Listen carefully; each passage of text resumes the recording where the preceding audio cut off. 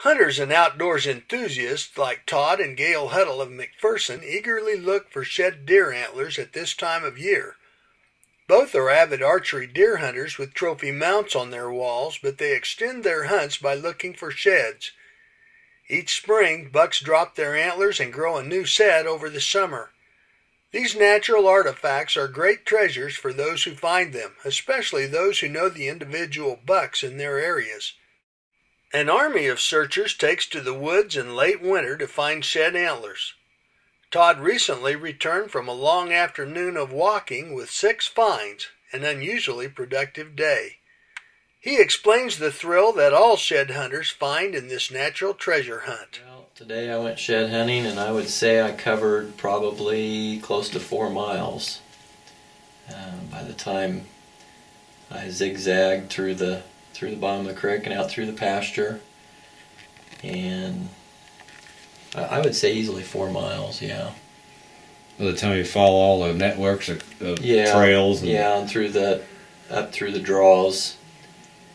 Uh, yeah. All places I think there might be uh, areas that they'd bed in or or even just get out of the weather.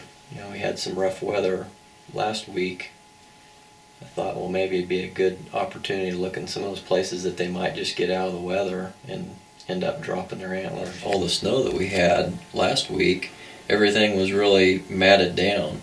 Yeah. All the leaves and, and even the grass was laying down. It was a lot easier to look ahead and, mm-hmm.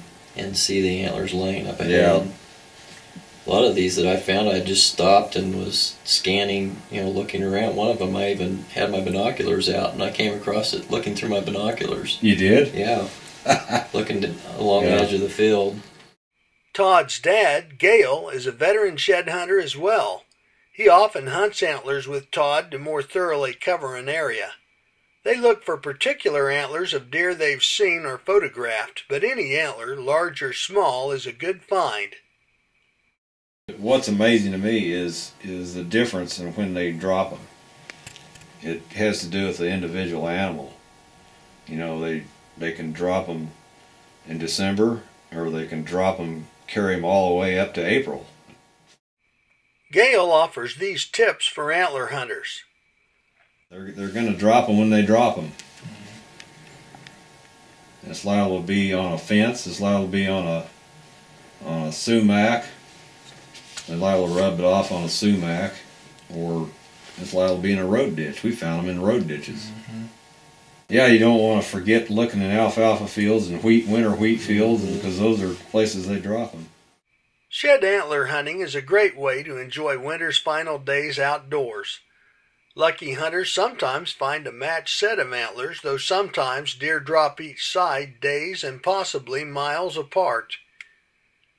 Fresh antlers make the best display, since older ones are often gnawed by rodents for minerals or bleached and weather checked. Get some exercise and find an antler. It will put you in tune with the Kansas outdoors. I'm Mike Blair for Kansas Wildlife and Parks.